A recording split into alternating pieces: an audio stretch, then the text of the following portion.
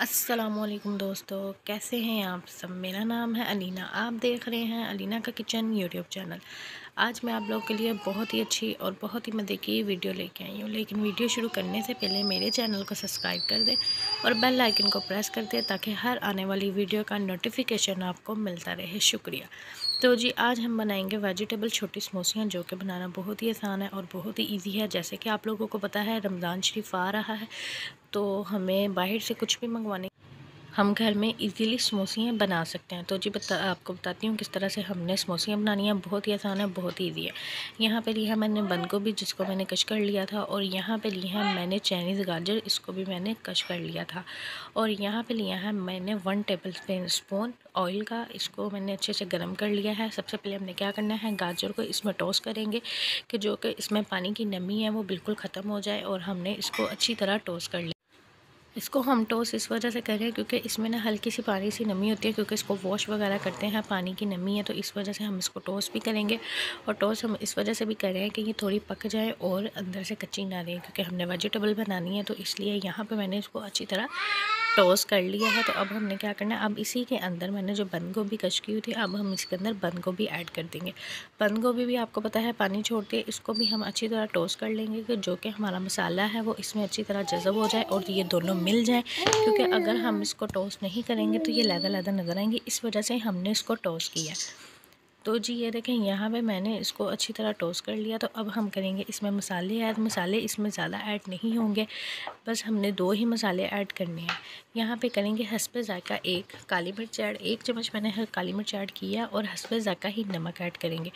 आप अपने हिसाब के मुताबिक ऐड कर सकते हैं। अब हम इसको अच्छी तरह मिक्स करेंगे, क्योंकि हम बना रहे हैं वेजिटेबल समोसियाँ जो कि बनानी बहुत ही आसान है और बहुत ईजी है। यहाँ पर हमने उसका अमेज़ा रेडी कर लिया। इसी तरह मैंने इसको अच्छे तरह रोस्ट करके और इसको यहाँ पे हमारा जो मेज़ा था वो बिल्कुल रेडी हो चुका था और मैंने यहाँ पे इसको 10 मिनट के लिए ठंडा करने करने के लिए रख दिया था और यहाँ पे लिया था मैंने उबाइल आलू, जो कि मैंने तीन उबाइल आलू लिए हैं। हम इसमें ऐड करेंगे। आलू हमने इसमें ज़्यादा ऐड नहीं करना है जस्ट हमने टच देना है आलू को क्योंकि हम वेजिटेबल बना रहे हैं। तो आप यकीन करें, जो आप बाज़ार से मंगवा के खाते हैं, आपको अब बाज़ार जाने की ज़रूरत नहीं पड़ेगी। आप घर में बना के ईजीली वेजिटेबल समोसियाँ खा सकते हैं। और बनाना भी बहुत आसान है, कोई मुश्किल काम नहीं है और यहाँ पे तो जी हमने अच्छी तरह मिक्स करके इसको तैयार कर लिया। अब हमने क्या करना है, यहाँ पर लिया है मैंने समोसा पट्टी। जो कि बनानी घर में बहुत ही आसान है और बहुत ईजी है इन इसकी वीडियो भी आपके साथ शेयर करूँगी कि समोसा पट्टी कैसे बनाते हैं। लेकिन ये देखें हमने किस तरह से इसका समोसा बनाना है। ये देखें इस तरह से हमने इसको राइट हैंड से फोल्ड करके इस तरह से इसको प्रेस करना है और यहाँ पे हम लग, आप चाहें तो पानी भी लगा सकते हैं। मैं यहाँ पे आटे में थोड़ा सा पानी ऐड करके लगा रही हूँ तो आप चाहें तो पानी भी लगा सकते हैं। ये ऑप्शनल है। इस तरह से हमने इसकी चारों कॉर्नर बंद कर देनी है कि ये कहीं से भी ओपन ना हो। इस तरह हमने इसलिए इसको सारी कॉर्नर बंद किया है कि जो हमारा अमेज़ा है पेस्ट है, वो इससे बाहर ना आए। तो जी ये देखें, माशाल्लाह कितनी अच्छी और कितनी खूबसूरत हमारी समोसियाँ रेडी हो चुकी हैं और उम्मीद करती हूँ कि आप लोगों को भी पसंद आएगी। इतनी आसानी से हमने घर में तैयार कर ली है, बाहर जाने की बिल्कुल ज़रूरत नहीं है। घर में बैठ के ईज़िली बना सकते हैं और इसको फ्रीज़ भी कर सकते हैं। मैंने ये वाली समोसा पट्टी यूज़ की है। अगर आपको इसकी वीडियो चाहिए तो इन आपको इसकी भी वीडियो बहुत जल्द मिल जाएगी। अब हमने क्या करना है? यहाँ पे मैंने ऑयल को अच्छी तरह गर्म कर लिया है और मैंने यहाँ पे ऑयल को वैसे ही पहले ही गर्म करने के लिए रख दिया था। तो अब हम इसमें करेंगे समोसे ऐड।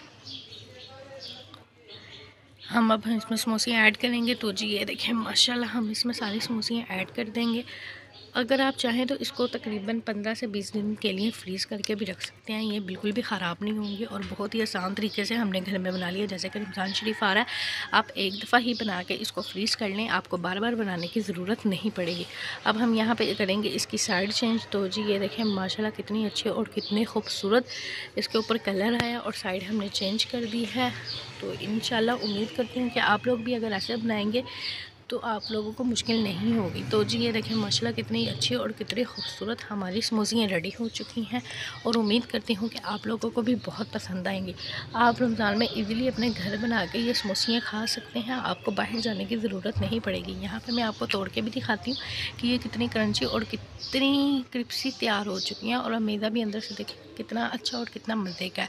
तो जी, उम्मीद करती हूँ कि आप लोगों को बहुत पसंद आएगी। चैनल पर नहीं है तो चैनल को लाजमी सब्सक्राइब कर दे, बेल आइकन को प्रेस कर दें ताकि हर आने वाली वीडियो का नोटिफिकेशन आपको मिलता रहे। शुक्रिया।